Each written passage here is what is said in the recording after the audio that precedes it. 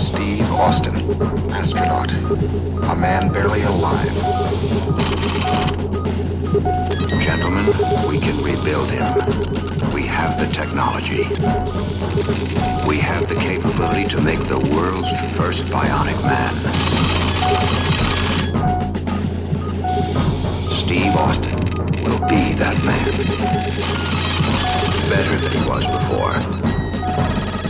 Better, stronger, faster.